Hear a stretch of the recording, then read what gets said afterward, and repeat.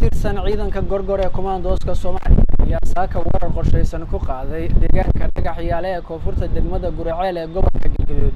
halkaasoo ay ku sugnaayeen xubno ka tirsan al-shabaab islamarkaana la xaqiijiyey in ay ku howlanaayeen abaabulka. Weerar gaadma oo ay ku qaadaan aagga deegaanada dhaca degmada guraceel ee gobolka galgaduud saraakiisha ciidanka kumaandooska soomaaliya ayaa waxa ay soo bandhigeen gaari nooca raaxada ah iyo meydadka xubno ka tirsan ururka al-shabaab ee lagu dilay weerarka saaka ka dhacay deegaanka dhagaxyaale sidoo kale ciidamadu waxa ay sheegeen inay gacanta ku dhigeen hub iyo agabyo kale oo ay ka mid yihiin minooyinka dhulka lagu aaso islamarkaana al-shabaab ay u adeegsanaysay in ay ku dhibaatayso dadka deegaanada gobolka galgaduud. Saraakiisha ciidanka kumaandooska soomaaliya ee gorgor oo la hadlay warbaahinta dowladda ayaa waxa ay sheegeen in ciidamadu ay gaareen guulo la taaban karo waxayna meesha ka saareen in wax khasaare ah oo ciidanka gorgor ka soo gaaray howlgalka qorshaysan ee saaka ay ka fuliyeen koonfurta magaalada guraceel ee gobolka galgaduud. Ila dadka deegaanka ah ayaa xaqiijiyey in israsaaseyn saacado qaadatay oo dhex martay ciidamada kumaandooska soomaaliya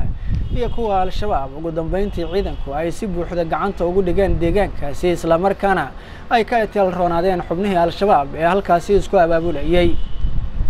maalmihii la soo dhaafay al-shabaab ayaa waxaa dhaqdhaqaaqyo ay ka waday deegaano dhaca koonfurta magaalada guraceel ee gobolka galgaduud.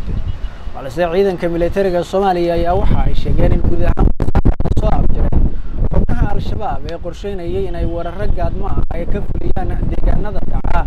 aagga koonfure ee magaalada guraceel waxaana saraakiishu ay sheegeen in ciidamadu ay si nabadgelyo ah ay ku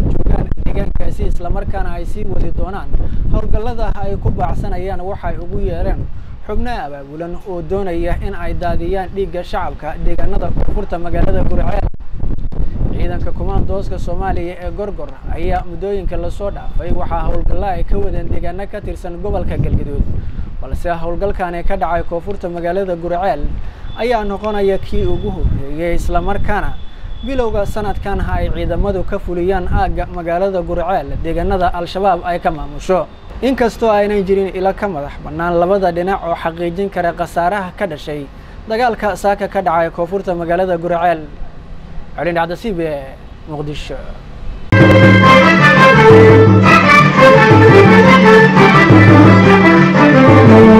Hadal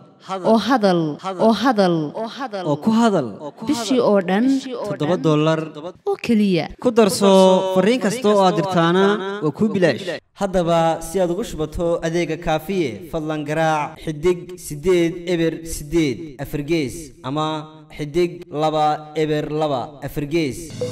Isticmaal shabakadda ugu ballaadhan geyga somalilan